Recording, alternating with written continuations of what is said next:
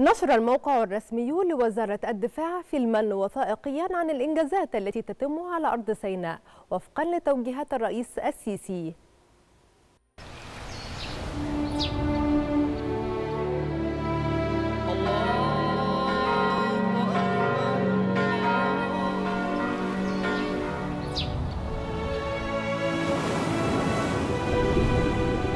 لما كنا بنتكلم على سينا وتصدينا للإرهاب اللي موجود مش مانعنا ومش هيمنعنا إن إحنا نعمل تنمية حقيقية في سينا. قد يكون جهدنا فيها زيادة شوية عن بقية ال- المناطق ولكن عشان أهميتها الاستراتيجية. أنا بس حبينا إن إحنا نبقى منتبهين قوي لده ويبقى الكلام ده حاضر عندنا كلنا كمصريين إن إحنا آه، بلدنا وبنخلي بالنا منها وهنحافظ عليها ومحدش هيقدر ياخدها مننا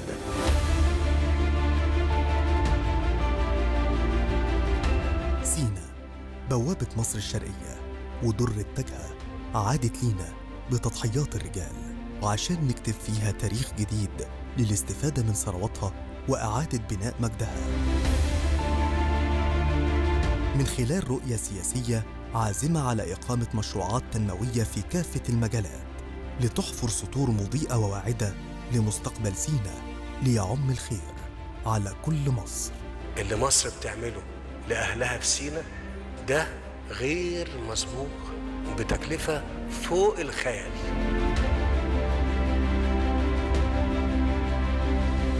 حيث اشتملت مشروعات تنمية سينا على تنفيذ أكثر من 438 مشروع قومي لخدمة كافة مجالات التنمية الشاملة بشبه جزيرة سينا وفتح آفاق جديدة نحو توفير فرص العمل واللي بلغت تكلفتها 700 مليار جنيه.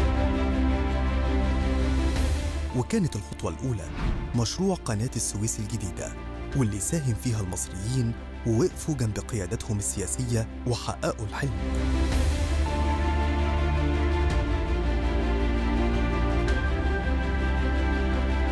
الخطوة الأولى جت بعدها خطوات كتير ولسه الحلم كبير. سينا محتاجة مشروعات عملاقة تحقق ليها نقلة اقتصادية حقيقية توصل بأحلامها للعالمية. اشتملت المشروعات التنموية على العديد من المحاور. كان أبرزها مشروعات البنية التحتية العملاقة واللي كان على رأسها أنفاق قناة السويس بالإسماعيلية وبورسعيد والسويس واللي بتعتبر شرايين جديدة لربط سينا بكافة أنحاء مصر.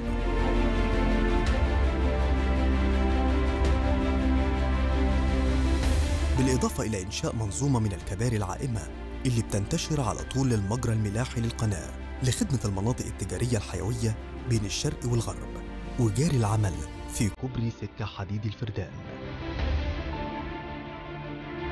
ولأن الطرق هي الشرايين اللي بتتبني عليها المجتمعات العمرانية الجديدة فتم العمل على قدم وساق بإنشاء شبكة واسعة من الطرق الطولية والعرضية. تتضمن 69 طريق جديد بإجمالي أطوال بلغت 2530 كيلومتر.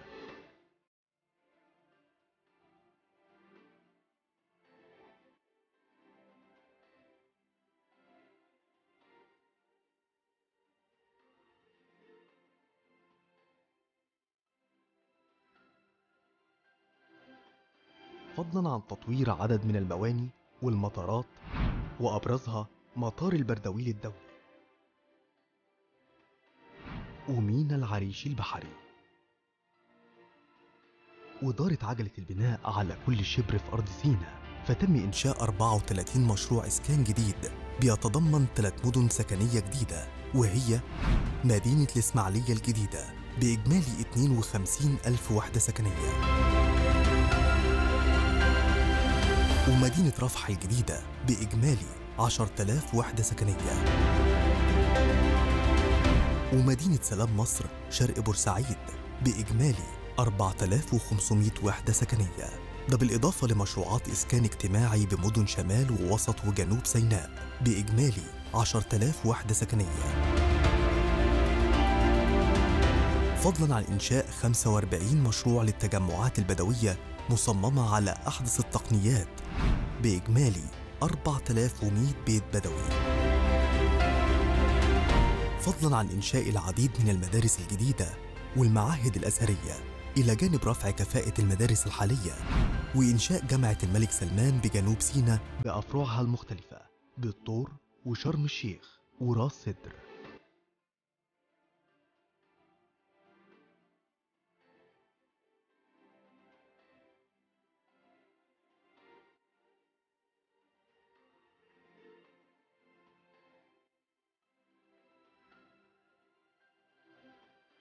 وفي مجال الرعاية الصحية تم إنشاء العديد من المستشفيات المركزية الجديدة ورفع كفاءة المستشفيات الحالية واللي بلغت 14 مستشفى. والعديد من الوحدات الصحية واللي بلغت 16 وحدة طبية وتجهيزهم بأحدث الأجهزة الطبية.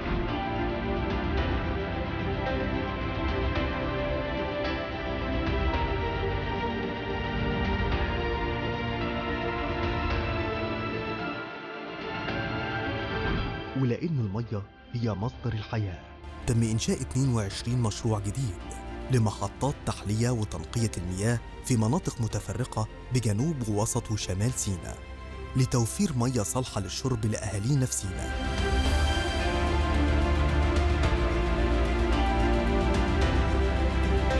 فضلا عن إنشاء صحارة سرابيوم لنقل المياه العذبة من غرب القناة لشرق القناة لاستخدامها في الزراعة.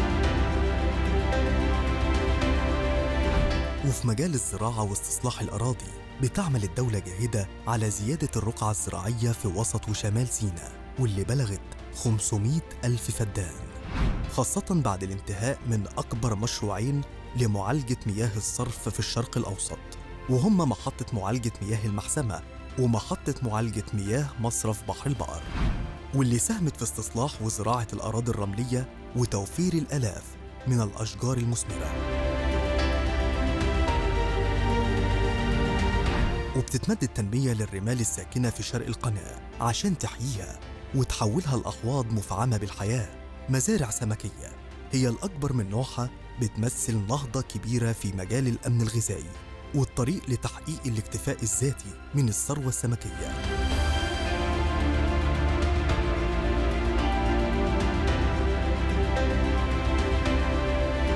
ملاحم من العطاء بتتجلى في انطلاقة نوعية وكمية عبر إنشاء العديد من الصروح الإنتاجية.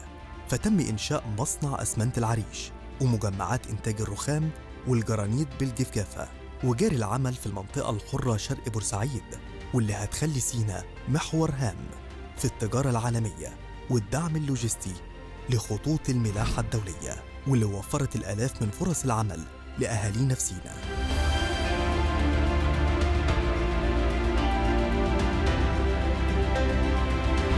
ولأن شباب اليوم هم محور الاهتمام فتم الانتهاء من إنشاء العديد من المدن الشبابية بجنوب وشمال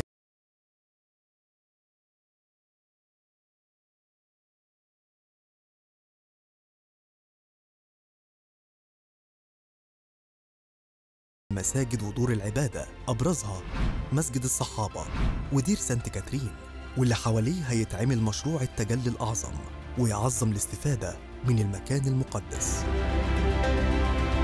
وما نسيتش الدولة التنمية الثقافية في سينا فأنشأت متحف شرم الشيخ متحف عالمي بيضم العديد من الآثار من مختلف العصور واللي أصبح مزار سياحي عالمي بيعكس تاريخ وحضارة الشعب المصري.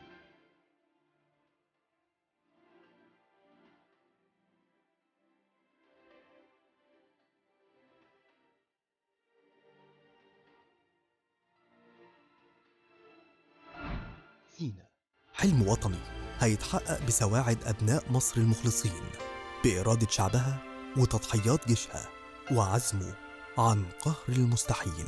هذا الوطن يحتاج منا العمل وبذل الجهد ومواصلة الليل بالنهار للعبور به آمنا.